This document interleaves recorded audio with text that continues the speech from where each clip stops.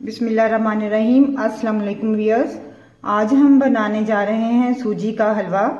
सूजी का हलवा बनाने के लिए जो इंग्रेडिएंट्स हमें चाहिए, उसमें हमने लिया है एक कप सूजी, एक कप चीनी, एक cup cooking oil half cup किशमिश हाफ़ कप हमने कटा हुआ नारियल लिया है।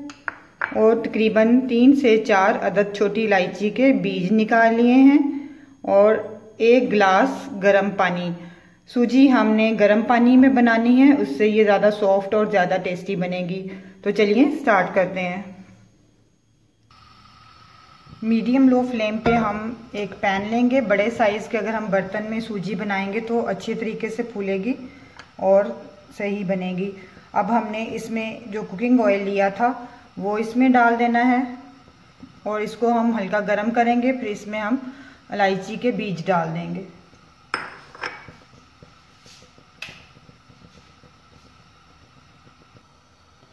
ऑयल हल्का गर्म हो चुका है। अब हमने इसमें छोटी इलायची के जो बीज निकाले थे, वो डाल देने हैं और इनको थोड़ा सा हमने इस तरह से कड़कड़ाना है।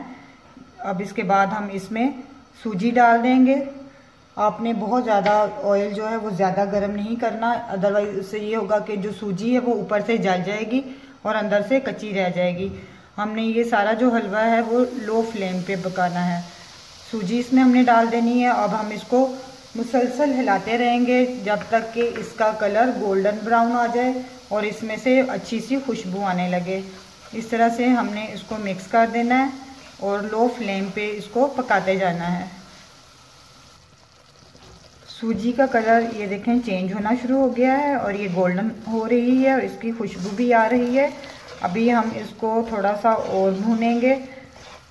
सर्दियों में ये है कि ये हलवा हम पूरी के अलावा अगर नान या पराठे के साथ भी खाएँ तो बहुत टेस्टी लगता है। इस तरह से हमने इसमें मुसलसल चम्मच चलाते जाना है ताकि ये सब साइड से इक्वली जो है वो सूजी पके और जले ना। इस तरह से हम इसको थोड़ा सा और इसका कलर चेंज होने तक इसको भूनेंगे। सूजी का कलर ये देखें गोल्डन हो चुका है और इस अगर जितना हमें कलर चाहिए था परफेक्ट ये आ, आ गया है। अब हम इसमें एक गिलास गर्म पानी डाल देंगे।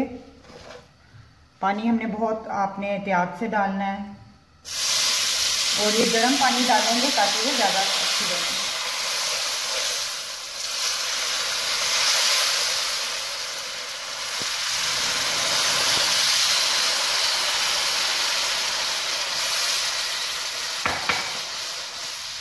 पानी डालने के साथ ही हमने इसमें चीनी डाल देनी है और इसको मिक्स कर लेना है। अब हम इसमें जो हमने किशमिश लिया था, उसमें से हाफ़ हम इसमें डाल देंगे। हाफ़ जो है वो हम गार्निश के लिए रख लेंगे। इसी तरह से जो हमने नारियल लिया था, कटा हुआ, वो भी हम हाफ़ इसमें डाल देंगे। हाफ़ गार्निश के लिए रख देंगे। फ्लेम हमने बिल्कुल लो रखना है। ताकि ये अच्छी तरीके से अंदर से गल जाए। इसको मिक्स कर लेना है और ऊपर हम इसके ढक्कन दे देंगे। इसको कवर करके पकाएँगे ताकि ये दम इसको आ जाए और सूजी गल जाए।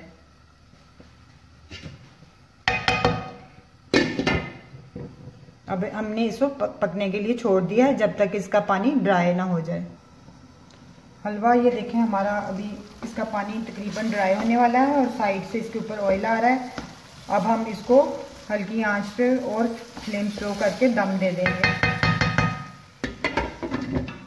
हमने चूल्हा अब स्लो कर देना है यहाँ पे और इसको दम देंगे, इसका ऑयल जब तक ऊपर आ जाए। हलवे को दम आ रहा है, ये देखें। ऑयल इसके बिल्कुल साइड से किनारों पे ऊपर आ गया है। इसका मतलब है कि अब रेडी है। हमने हलवे में कभी भी पानी ज़्यादा नहीं डालना, उससे ये होता है कि बहुत ज़्यादा पतला बन जाता है और अगर हम इस तरह से चाहते हैं, जैसे कि हम, आप पूरियों के साथ बाज़ार से हलवा लेते हैं तो पानी भी हमने मेज़रमेंट का डालना है, ये देखें। बहुत खूबसूरत अब हलवा हमारा रेडी हो गया है। अब हम इसे डिश आउट करते हैं। अभी ये बहुत गर्म है, हम इसको निकाल के इसके ऊपर गार्निश बिस्मिल्लाह रहीम, इस तरह से हम इसको डाल लेंगे। किसी भी आप अपने पसंद के बाउल में डाल सकते हैं और इसके ऊपर हमने नारियल और किशमिश जो हमने रखा था, काट के बचाया था हाफ़, इसमें से उसकी गार्निश कर लेंगे। हलवा हमारा रेडी हो गया है। अब हम इस पर गार्निश कर लेंगे। जो हमने नारियल बचाया था थोड़ा सा, वो इसके ऊपर स्प्रिंकल कर दें। किशमिश डाल दें। बहुत ये देखें, इसका अच्छा कलर आया है और खुशबू भी बहुत अच्छी आ रही है। सर्दियों में बनाएँ, झटपट से ये रेडी हो गया है और इन्जॉय करें। तो हमारा हलवा अब रेडी है। अगर आपको हमारी रेसिपीज़ अच्छी लगी हों तो वीडियो लाइक करें और चैनल सब्सक्राइब करें। Thank you